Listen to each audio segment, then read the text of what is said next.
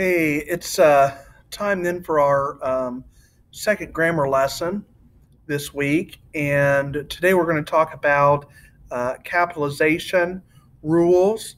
And um, I want to just uh, direct your attention to uh, the two worksheets that I attached. One is going to be uh, your assignment, but then one is just the rules of capitalization.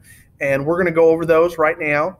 Uh, and so I want you to look at those. That sheet has several circles on it. It says capitalization rules on it. And I want to just real briefly go over those with you. For a lot of you, this is review, but uh, this is also one of those things that we really need to be good at. Your generation and my generation. Your generation is very used to texting, uh, where you're just very quickly writing and you're not using a lot of good punctuation, especially capital letters, but you got to know it for formal writing. In my generation, when I was your age, we didn't have texting, but we had AOL Instant Messenger. And really, that's where all this started. We, you know, stopped capitalizing things when we should have.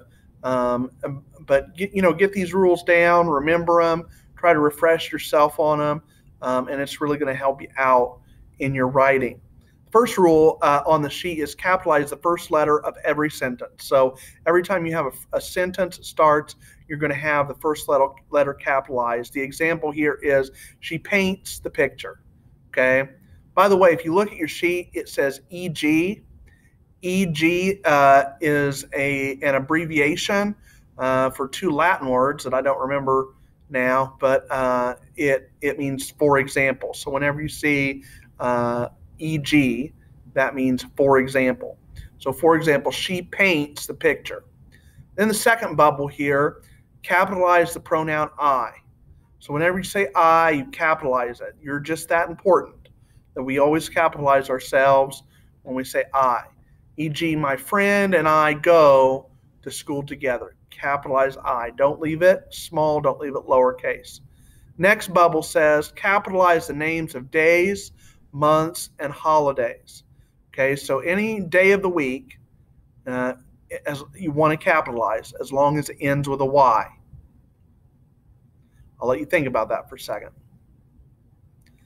So any day of the week, you want to capitalize it. So Tuesday, Monday, whatever. Any any month like August, you want to capitalize.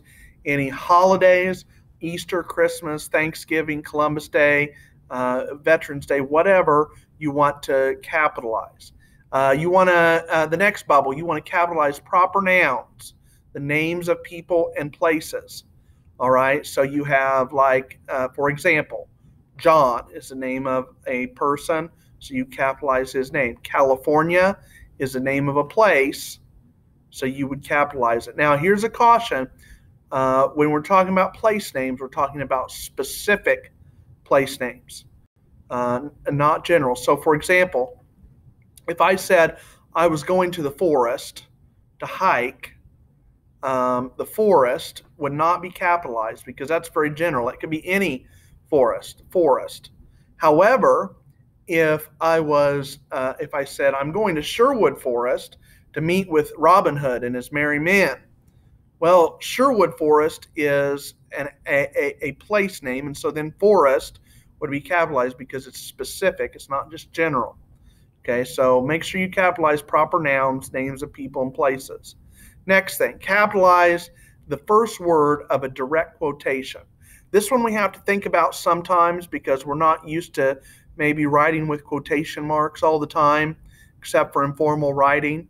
But if you think about it, it makes sense uh, that uh, in this example, Susan said, Please pass me the salt that both Susan and please would be uh, uh, would be capitalized because really you have two sentences. You have the sentence that the narrator is saying, uh, Susan said, and you have the sentence Susan is saying, which is please pass me the salt. So uh, that's why that you capitalize the first word of a direct quotation, and then uh, and then after that you want to capitalize the names uh, of languages and nationalities, e.g., French.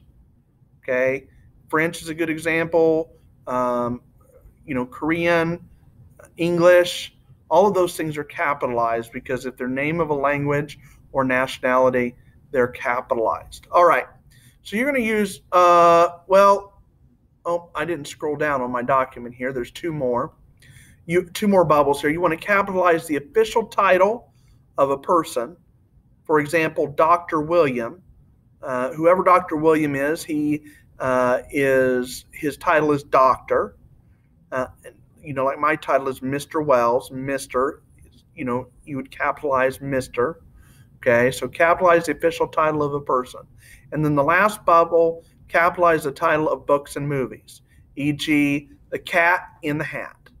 Okay, so you're going to capitalize those things. Now you'll notice on that example that not every word in it is capitalized. We don't capitalize, we, we always capitalize the first word no matter what. But after that, we do not capitalize prepositions or articles. Prepositions or articles. Uh, so what we're talking about is basically these kind of little minor words like in and the and that. So we don't we don't capitalize those, but the main the main words we do capitalize. Okay, so here's your assignment, and this is a PDF. If you uh, are able to convert it and, and, use this document, you can.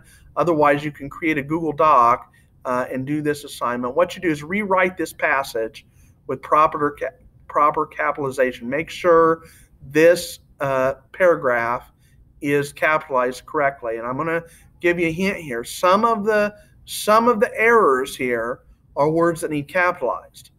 But some of the errors are words that are already capitalized, but they shouldn't be capitalized. Okay, so you have the two kinds of errors here too. So you want to make sure and look out for that. So rewrite that uh, as correctly. You're going to submit it in a Google Docs. Be sure to click Turn It In uh, when you're done. Uh, and if you have any questions, please feel free to ask me. Be sure to email me, we, Wells, DJ at hoopeston.k12 uh, Don't forget uh, to like and hit subscribe and do all that other cool YouTube stuff. Thanks. Talk to you later. Bye bye.